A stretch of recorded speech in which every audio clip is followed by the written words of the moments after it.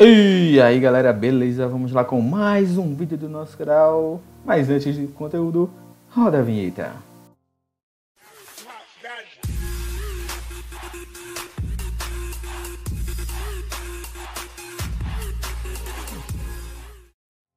Antes do conteúdo, não se esqueça de se inscrever no canal, deixar o seu like, dúvidas, sugestões, pode deixar nos comentários que eu estarei dando total atenção.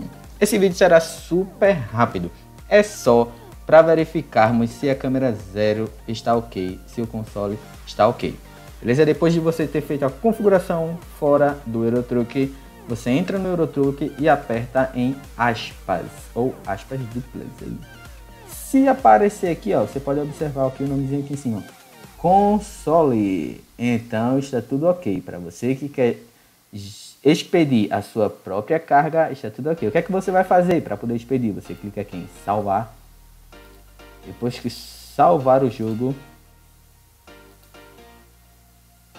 você vai apertar no aspa novamente e vai anotar esses quatro últimos dígitos aqui, ó, 4B e 4D.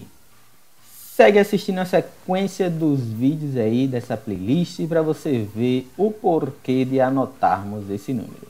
Nesse vídeo é só. Não se esquece de se inscrever no canal, deixar o like, comentários aí embaixo e até o próximo vídeo.